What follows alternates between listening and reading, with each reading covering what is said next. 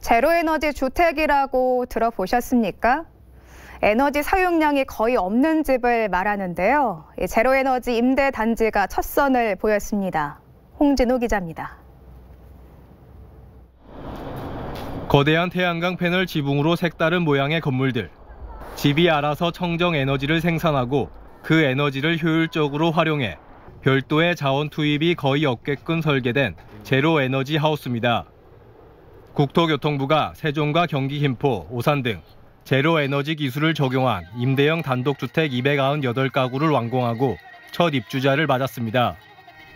임대형 제로 에너지 하우스는 외단열과 열교 차단 공법, 삼중 창호를 적용해 결로, 곰팡이 발생 가능성을 원천 차단합니다. 이와 함께 열회수 환기 장치는 창문을 열지 않아도 알아서 공기를 순환해 열 손실을 막고 미세먼지까지 걸러냅니다. 지붕이 태양광 패널을 통한 자체 전기 에너지 생산으로 전기료도 제로 수준입니다.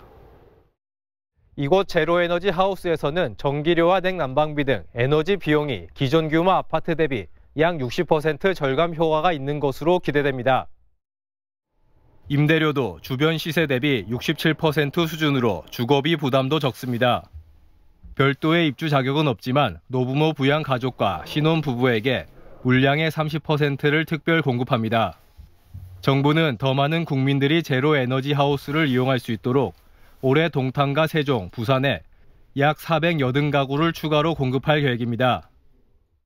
어, 국민 여러분의 주거비 부담을 덜어드릴 수 있는 고성능 제로에너지 임대주택의 혜택을 보다 많은 국민들이 혜택을 누릴 수 있도록 노력하겠습니다. 정부와 공공기관에서 앞장서서 제로에너지 주택을 전국적으로 대폭 확충해 나가겠습니다. 이와 함께 내년부터 신축 공공 건물에는 제로에너지 건축공법 단계적 의무화를 추진하고 공공임대주택, 도시재생 사업 등에 확대 적용할 계획입니다.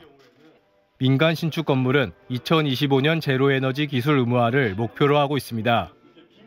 KTV 홍진호입니다.